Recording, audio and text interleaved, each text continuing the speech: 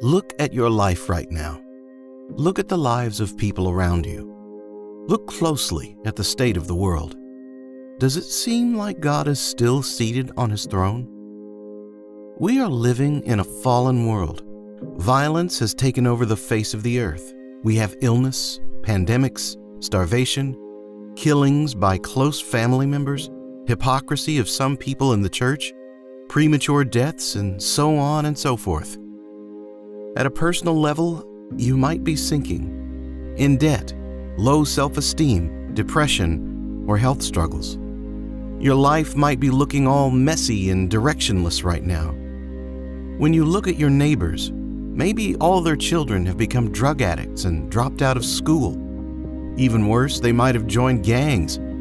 At national and international levels, we are struck by pandemics, violent politics, countries rising against each other and declaring wars, global warming, and rise of terminal illnesses such as cancer.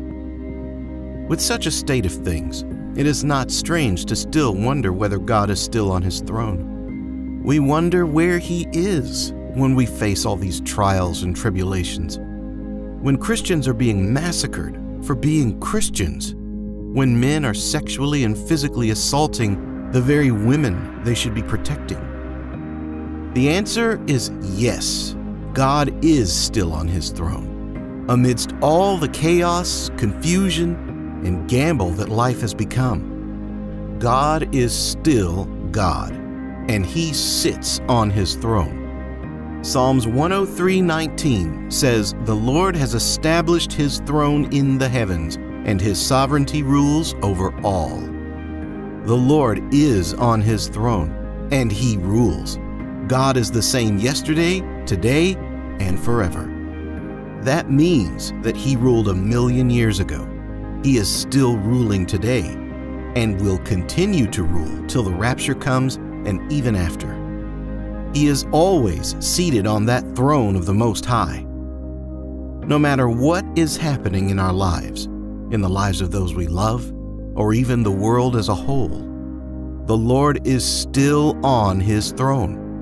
Even when we face mountains and sink in deep valleys, the Lord still rules.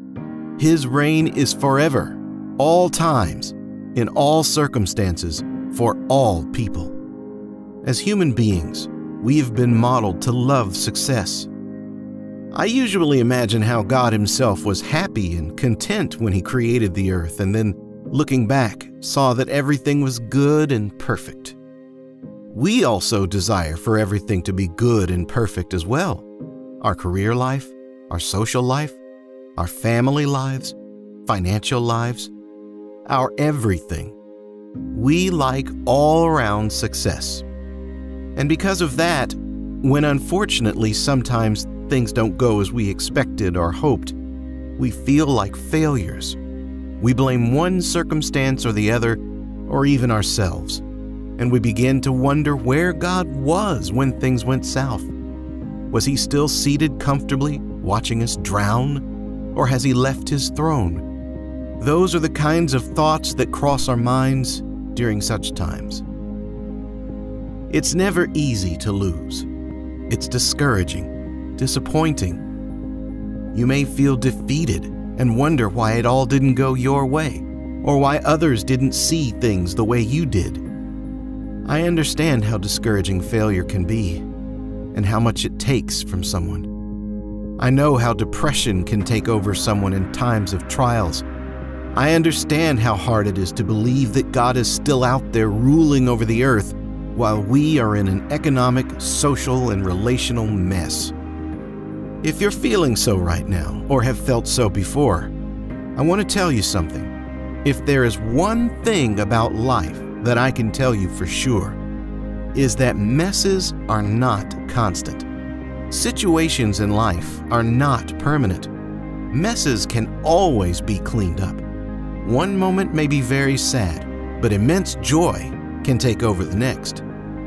In the same way, a certain period may be very financially favorable, getting all the invites to interviews, a lot of money coming in, and everything being in perfect order. And to that same person, A time may come when they struggle to make ends meet, when they are not sure when they'll have something to eat. But there is a constant in life, and that constant is God. He never gets out of the picture. Even when he is invisible and his presence not being felt, he is there. Our Heavenly Father is seated on his throne. He is looking, watching, and taking note of every single thing. He is aware of everything that is going on. His powerful presence is never doubted when life is smooth. But when things begin to go haywire, we tend to think that He is not with us anymore. Truth is, even in the bad times, God is still usually with us, planning our lives from His high seat of power in the heavens working things out for our good. He is not just merely witnessing your struggles, He is planning for a better tomorrow for you. He is making you ready for your next day, your next 10 years, the rest of your life. Even though your life might feel so out of hand right now, I assure you that He is in control. Everything will go back in place with time. It is just a matter of time before He wipes your tears and gives your heart a peace that transcends human understanding. He is an omnipresent, omnipotent, and omniscient God. He is everywhere, all powerful, and all knowing. No part of the world is hidden from Him. There is no part of your life that He doesn't see. There is no struggle no suffering, no tears, no crying that God is not seen, No illness or war or hunger or starvation that God can't see. He sees everything. He hears all things. He knows all things, and He is everywhere. Nothing has taken God by surprise, not ever. He's on the throne and sovereign over all. He has a plan and is at work on behalf of his people. He is helping you through that thing you think is going to kill you. He is still on his throne, bringing you healing from that heartbreak you thought you'd never recover from, and from the injuries you suffered from an accident that you thought was the end of you no matter how bad the situation looks. Always know that He is in control. He has assured us that there is no temptation that has come our way that we cannot handle. God knows the full stretch of our faith, and He is not going to let any of us be tempted beyond it. Our caring Father knows how much we can take, and He is not going to let us experience more than that. God fights for his people. In the book of Esther, we are told of the gravity of the danger the Jews were facing. Think of how it must have been a hopeless situation for the Jews when they learned of Haman's plot to have them mass murdered. They must have fallen into fear and tension, depression and sadness as they thought of how they were all going to die according to Haman's plot. At that time, they must have wondered where God was and why he was not doing something about it. Why he was not stopping Haman or providing them with protection. They must have asked themselves whether God was still seated on his throne. When you read the entire book of Esther, you see how God saved the Jews by making Esther one of their own, a queen, who the king loved most and who he couldn't deny anything and it was through Esther's queenship that they were saved from death. All this while, while they were wondering where he was, God was planning how they would be saved from Haman's evil plot. Esther 4:14 For if you remain silent at this time, relief and deliverance for the Jews will arise from another place, but you and your father's family will perish. And who knows but that you have come to your royal position for such a time as this. For such a time as this. Nothing more, nothing added.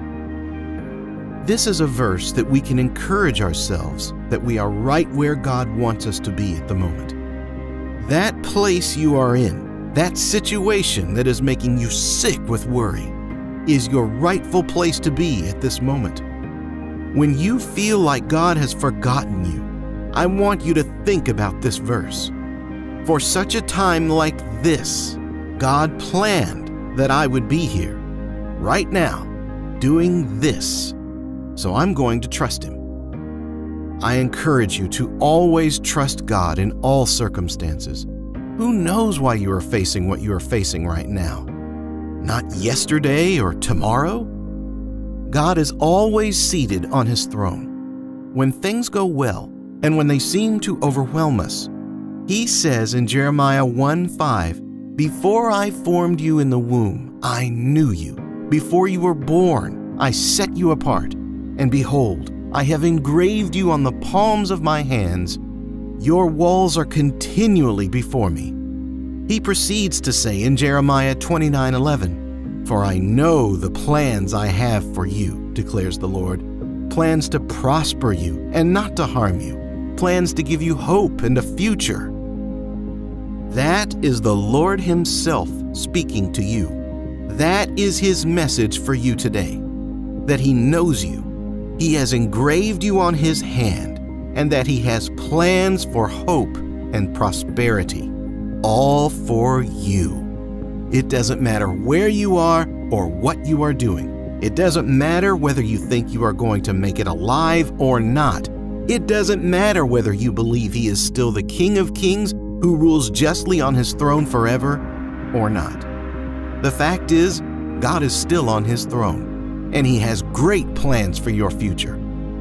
You may face trials, but not ones that you cannot handle. You might encounter challenges, but not ones greater than He who lives in you. You may feel like you are surrounded by darkness, but the light of God outshines all kinds of darkness. It reaches to all corners of the earth, and no one that seeks it will be put to shame. Trust in God at all times. Trust in Him even when there is nothing to show that He is at work. Trust in Him when your life has lost meaning and direction. Trust in Him who is the true compass, and you will never be lost. Trust in Him who owns all the riches of the world, and you will never lack. Trust in Him who is the Prince of Peace, and your heart will be calmed. You have a loving, caring, protective Father in heaven. He watches over you day and night, and He has the best plans for you in the future. Even when it doesn't seem like it, know that He is still on the throne. Trust in Him always.